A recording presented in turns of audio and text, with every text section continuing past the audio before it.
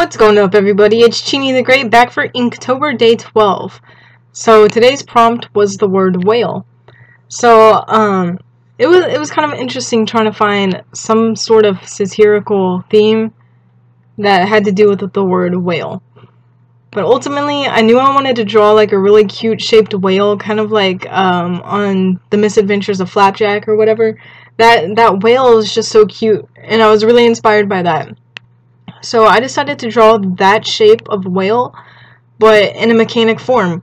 So I drew this kind of like submarine style whale shaped mechanical object that's floating through the ocean. And I just wanted to go real simple with this, but that was completely intentional and I think this is like one of my favorite cartoons that I've done all month, just the way it looks, not necessarily the meaning behind it, but I think it looks really really cute and it was exactly what I was going for. So I was really happy with how it came out even though it was super simple. So I've got this mechanical submarine whale floating through the ocean and I haven't inked it yet but there's a little pipe in the back and it's spl like splooshing. I don't know splotching splooshing out ink like black stuff. Pretty much it's supposed to represent like oil, like an oil spill in the ocean. So I know submarines don't just go through the ocean and spill oil into the ocean. Like this is definitely kind of my artistic license here. But um this submarine is squeezing out oil into the ocean and there's some fish that are getting caught up in this oil spill and they're dying and I represented that because they're upside down so they're belly up and they're they have X's over their eyes so that's supposed to represent that these fish are dead and yeah, I drew the oil just kind of like sitting in the water and coming out of the vehicle. So it kind of represents basically like America's industrialism and how it's not always a good thing. Like it's definitely a good thing to grow and progress and to invent and to build things, especially things that people need.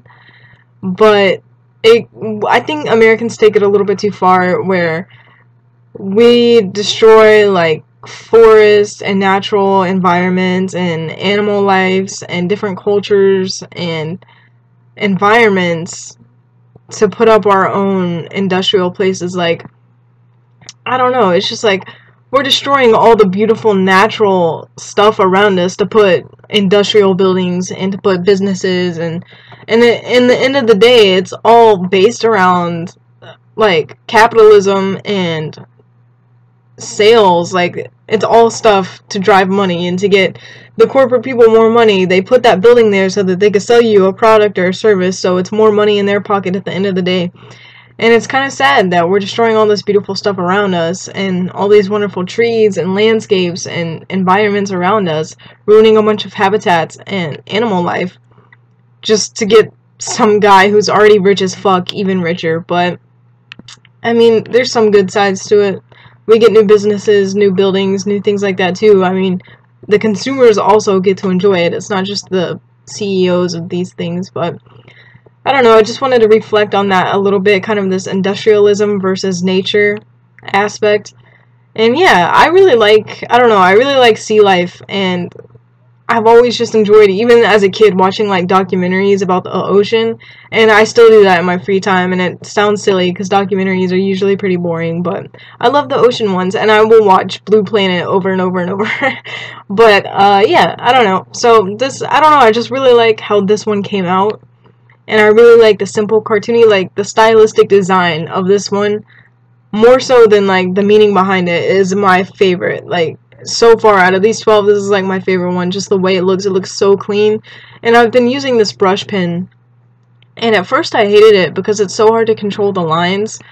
But the whole point of the brush pen is that you can get really really thin lines or really wide lines depending on the way you hold the brush and whatever. But I just got I kept getting really wiggly lines and I was like oh what the fuck? It's so hard to control. Why does anyone like this and then I just kind of like accepted the wiggly line and I was like, fuck it. If I want wiggly lines, I'm going to use the brush pen. So that's what I've been doing. Anytime I kind of want like line weight and varied line weight, but I'm not doing it in a controlled manner like most people that use a brush pen. Like I'm just letting the pen do its thing. I'm not worried about which way I'm holding my hand or anything like that. Like there's very few times where I want a really thin line so I'll hold it upright, but other than that, I just let the brush pen pick the weight of the line and that's that's the finished product right there. Really simple but I really like how it came out and I think it gets the point across. So if you want to see all my other drawings check out my Instagram at CTG Graffiti and I'll see you in the next video